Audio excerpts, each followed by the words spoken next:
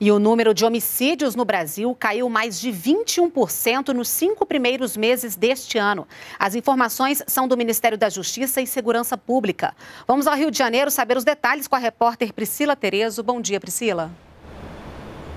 Bom dia, Renata. Bom dia a todos. Os dados indicam que todos os nove crimes registrados no Sistema Nacional de Informações de Segurança Pública, o SINESP, tiveram queda nos cinco primeiros meses do ano, em comparação com o mesmo período do ano passado.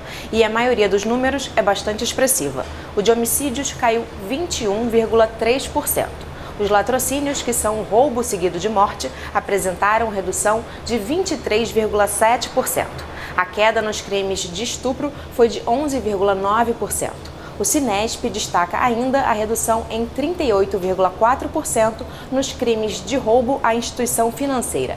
Essas apurações vêm acontecendo desde março deste ano, com base nos boletins de ocorrência dos estados e do Distrito Federal, e são publicadas no site do Ministério da Justiça e Segurança Pública.